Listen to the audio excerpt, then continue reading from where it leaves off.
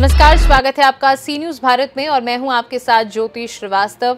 वक्त हो चुका है मॉर्निंग न्यूज़ का तो आइए शुरू करते हैं आज की बड़ी खबरों का सिलसिला। सीएम योगी आदित्यनाथ आज नीति आयोग गवर्निंग काउंसिल की बैठक के लिए नई दिल्ली में होने वाले कार्यक्रम में जाने वाले हैं। इस बैठक को लेकर उनकी मुलाकात पीएम नरेंद्र मोदी और भाजपा के शीर्ष नेताओं से होगी। वहीं सीएम योगी, केंद्रीय गृह मंत्री अमित शाह और भाजपा प्रमुख जेपी नड्डा से भी मुलाकात करेंगे। केंद्रीय दूरसंचार एवं पूर्वोत्तर क्षेत्र विकास मंत्री ज्योतिरादित्य सिंधिया आज और कल मध्य प्रदेश के अशोकनगर ज़िले में दो दिवसीय दौरे पर रहेंगे। दूसरी बार लोकसभा स्पीकर बने ओम बिरला आज राजस्थान के जोधपुर में एडवोकेट एसोसिएशन की ओर से होने वाले हाईकोर्ट प्लैटिनम जुबली कार्यक्रम में हिस्सा लेंगे। बता दें कि वे सुबह जोधपुर पहुँचेंगे। वहीं बिरला का दूसरी बार लोकसभा स्पीकर बनने के बाद जोधपुर का पहला दौरा होगा।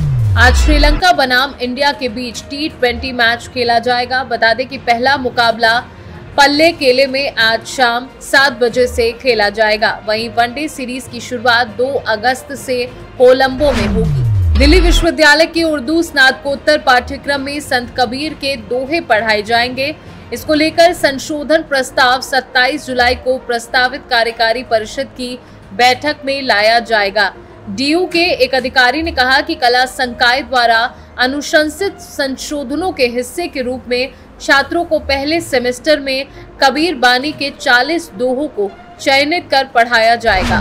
भारत रत्न से सम्मानित पूर्व राष्ट्रपति डॉक्टर एपीजे अब्दुल कलाम की आज पुण्यतिथि देश भर में मनाई जाएगी। इस वर्ष पुण्यतिथि से पूर्व उत्तर प्रदेश सरकार के अल्पसंख्यक कल्याण राज्य मंत्री दानिश आज़ाद अंसारी ने पत्र जारी करके मदरसों को निर्देश दिया है कि सभी मदरसों में साइंस एग्जीबिशन का आयोजन किया जाएगा। भारतीय सेना में बहाली को लेकर झारखंड के युवाओं के लिए शानदार मौका है। बता दें कि झारखंड के लिए सेना भर्ती रैली आज से 10 अगस्त 2024 तक रांची के खेलगांव में आयोजित की जा रही है।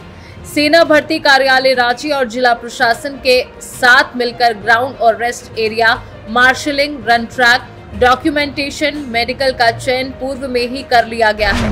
छत्तीसगढ़ के जगदलपुर में आज जेसीआई जगदलपुर सिटी द्वारा एक दिवसीय बिज़नेस ट्रेनिंग कार्यक्रम आज बस्तर चैम्बर ऑफ़ कॉमर्स के भवन में होगा। संस्था के अध्यक्ष आकाश चांडक ने बताया इस कार्यक्रम का उद्देश्य प्रतिस्पर्धा के दौर में अपने व्यापार को कैसे विकसित करें, इसके बारे में जानकारी दी जाएगी। बेबी प्लानिंग और मातृत्व को लेकर आज शाम चार बजे से छह बजे तक कोकिला बेन धीरूभाई अंबानी अस्पताल में सेमिनार का आयोजन किया गया है। बता दें कि इसमें कई अनुभवी विशेषज्ञ मार्गदर्शन देंगे। वहीं सेमिनार के लिए निशुल्क रजिस्ट्रेशन किया जा रहा है। देश भर के अधिकांश हिस्सों में फिर से मानसूनी बारिश शुरू हो गई है। मौसम विभाग के अनुसार आज दिल्ली में बारिश होने की संभावना है। ऐसे में आने वाले तीन दिन दिल्ली में बारिशमय होने वाले हैं। वहीं दिल्ली में कल अधिकतम तापमान 35 डिग्री और न्यूनतम तापमान 27 डिग्री सेल्सियस रहने की उम्मीद है। वक्त हो चुका है इतिहास का तो आइए जानते हैं आज का दिन क्यों है कुछ खास।